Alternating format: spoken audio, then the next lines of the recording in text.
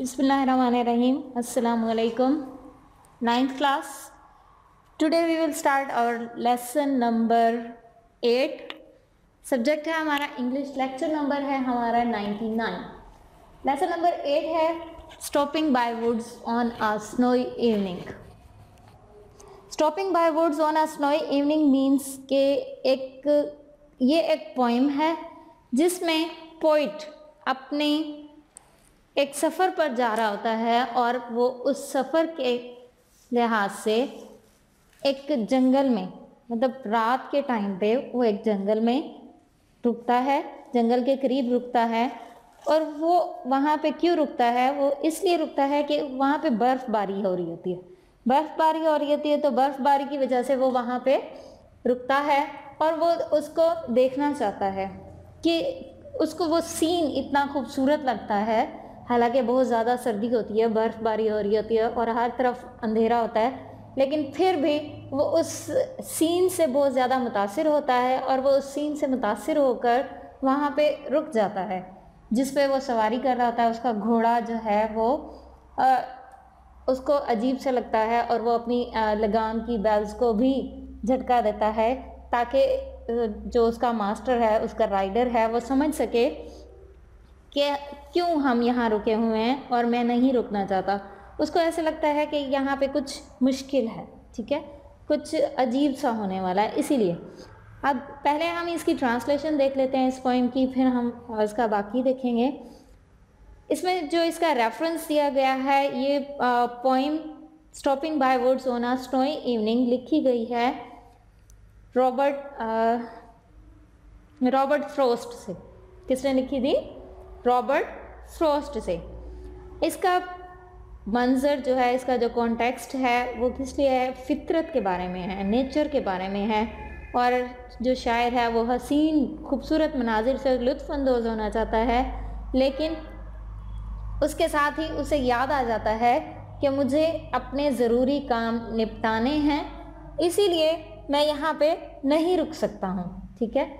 वो उस नेचर के सीन को इन्जॉय भी करना चाहता है, लेकिन वो उसको ये भी याद आ जाता है कि मैंने अपने वादे पूरे करने, अपने काम निपटाने हैं, मैं यहाँ पे नहीं रुक सकता। क्या?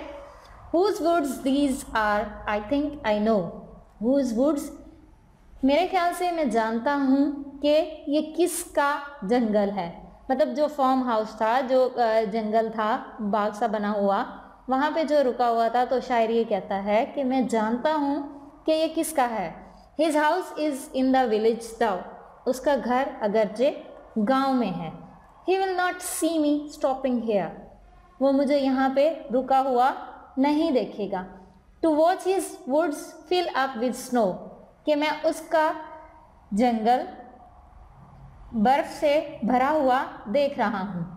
ठीक है? मतलब वो कहता है कि वो उसका घर गाँव में है और वो नहीं जानता कि मैं यहाँ पे रुका हुआ हूँ और उसका जंगल जो बर्फ़ से भरा हुआ है, वो देख रहा हूँ। My little horse must think it queer. मेरा छोटा घोड़ा इसे अजीब महसूस करता है। To stop without a farm house near जिसके करीब कोई देहाती घर भी नहीं है। Between the woods and frozen lake जंगल और बर्फ़ की जमी हुई झील के दरमियान में the darkest evening of the year. और ये सबसे तारीख तरीन, और ये तारीख तरीन साल की रात है। मतलब ये साल की तारीख तरीन रात है। क्यों? इसमें ना चाँद की रोशनी है, ना सितारों की, और उस तरह से बर्फ़बारी हो रही थी। He gives his harness bells a shake वो अपनी लगाम की घंटियों को एक झटका देता है शेक झटका देता है। To ask if there is some mistake ये पूछने के लिए क्या कुछ गड़बड़ हो गई है या कुछ अजीब सा है? The only other sounds the sweep और दूसरी आवाज़ सिर्फ़ बर्फ़ के गालों की गिरने की है। ठीक है? Of easy wind and downy flake हल्की हवा की और बर्फ़ के गालों की या बर्फ़ के ज़र्रों की गिरने की। ठीक? The woods are lovely dark and deep woods जंगल, प्यारा, तारीख और गहरा है, घना है। मतलब उस जंगल की बात कर रहा है कि जहाँ पे वो रुका था, वो बहुत ज़्यादा घना और बहुत ज़्यादा तारीख और ख़ूबसूरत है। But I have promise to keep लेकिन मुझे अपने वादे पूरे करने हैं। And miles to go before I sleep और मुझे मीलों तक का, यानी लंबा सफ़र करना है। सोने से पहले सोने से पहले यहाँ पे ये जो स्लीप है, ये इटर्नल मतलब डेथ को शो कर रहा है इटर्नल स्लीप को, जो डेथ को शो कर रहा है, ये उसको रिप्रेजेंट कर रहा है, ठीक है? अब वो कहता है कि मुझे अपने वादे पूरे करने हैं, मरने से पहले, मौत से पहले, मुझे अपने सारे काम, अपने फ़राइज़ पूरे करने हैं और मुझे बहुत लंबा सफ़र करना है, ठीक है?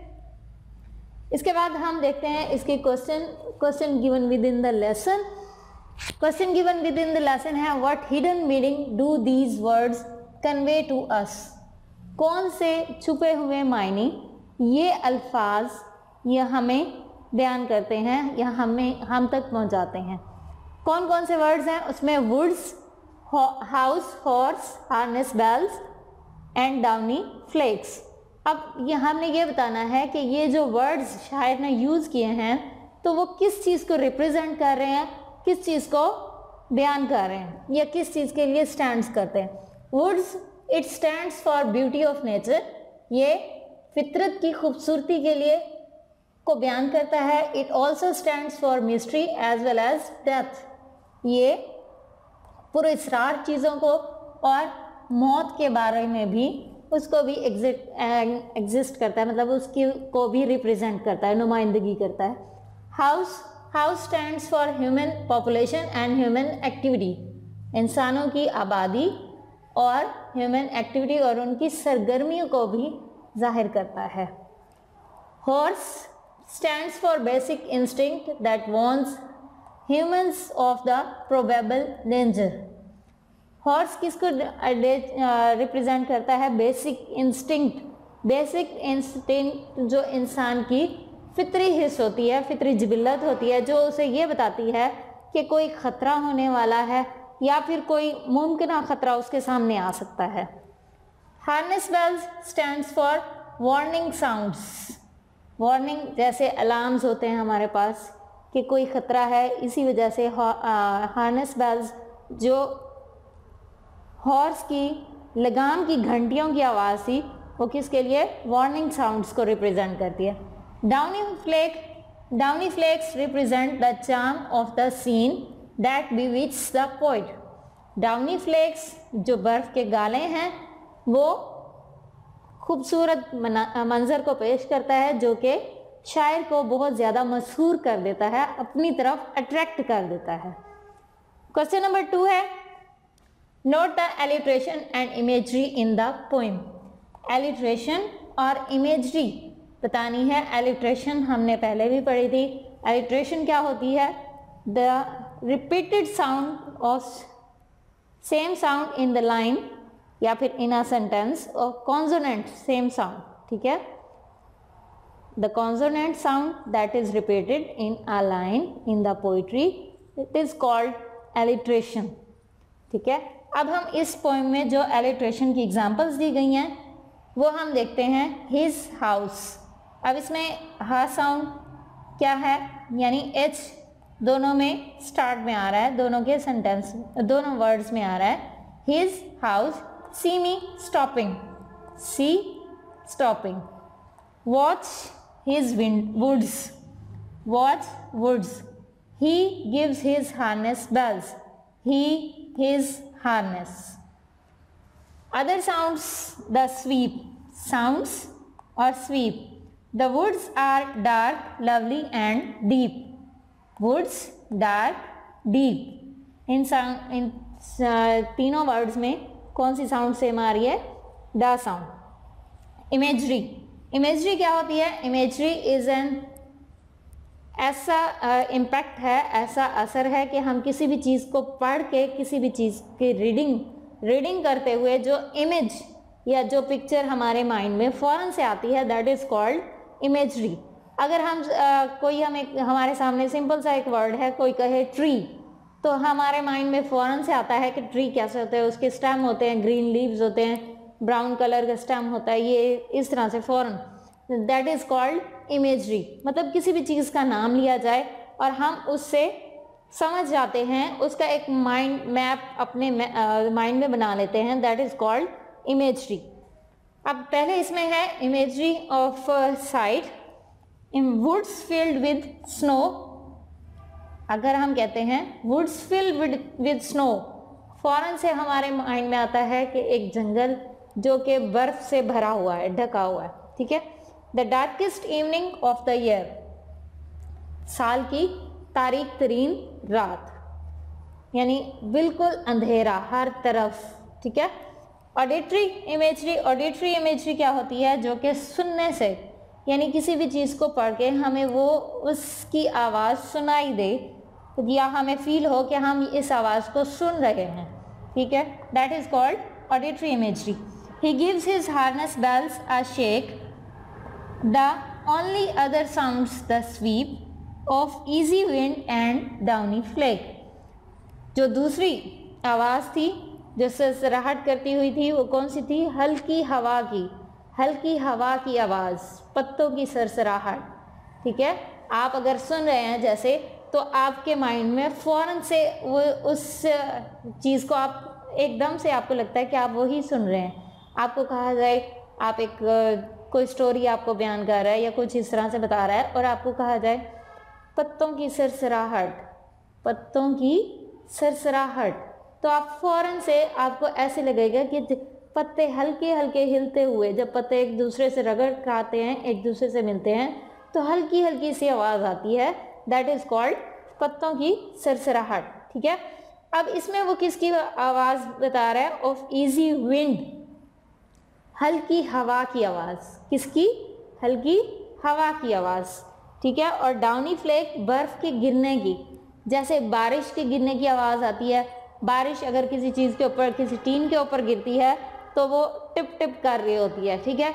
अगर हल्की बारिश होती है तो उसकी और तरह से आवाज़ होती है। इसी तरह बर्फ़ की आवाज़ आप लोगों में से बहुत से लोगों ने बर्फ़बारी देखी भी होगी।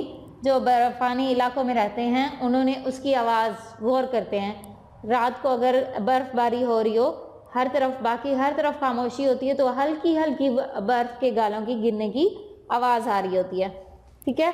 नेक्स्ट है हमारे पास, ये हम कर चुके नेक्स्ट है हमारे पास answer the following question answer the following question मतलब कि जो लेसन में क्वेश्चन आंसर्स दिए गए हैं, वो।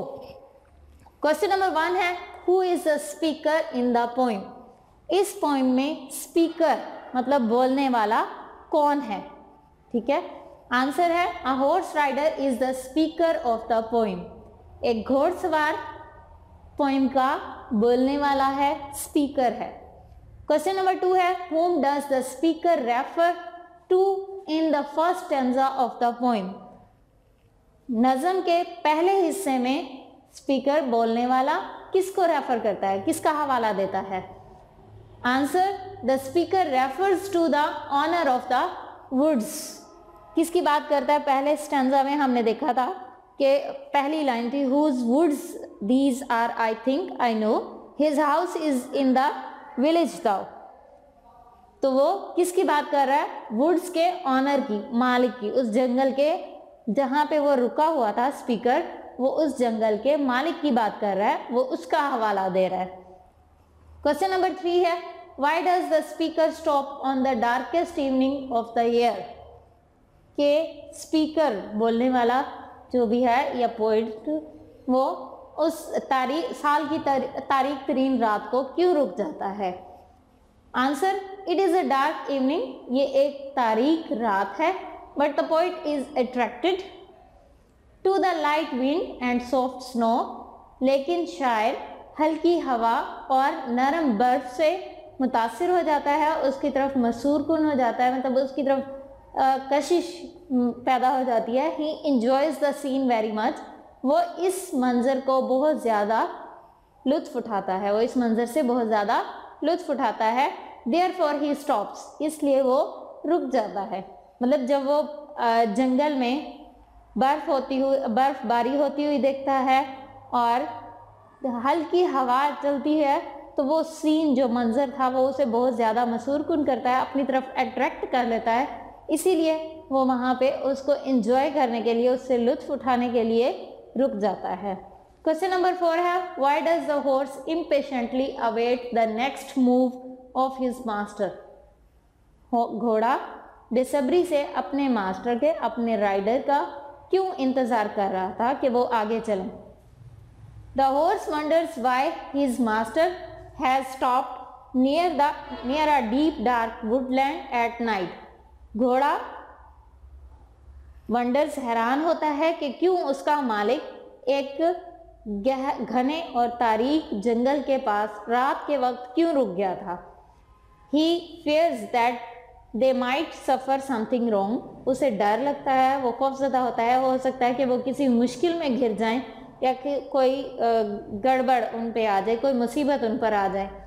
For he is waiting impatiently for the next move of his master इसीलिए वो अपने मालिक के आगे जाने का बेसब्री से इंतज़ार कर रहा है। मतलब उस घोड़े को ऐसा लगता है कि अगर वो यहाँ पे रुके रहेंगे, ये एक तारीख तरीन रात है और कोई भी नहीं है, जंगल में बर्फ़बारी हो रही है तो किसी न किसी मुसीबत में फंस सकते हैं, किसी मुश्किल में फंस सकते हैं। इसीलिए वो अपने मालिक के अगले मूव या आगे जाने को अपना सफ़र कंटिन्यू रखने के लिए बेचैनी से इंतज़ार कर रहा होता है।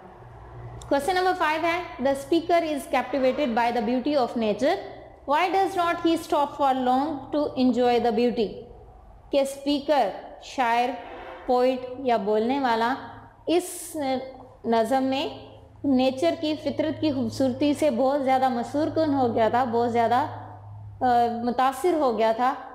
फिर वो उसके लिए इस खूबसूरती को इंजॉय करने के लिए या लुत्फ उठाने के लिए ज़्यादा टाइम क्यों नहीं रुकता?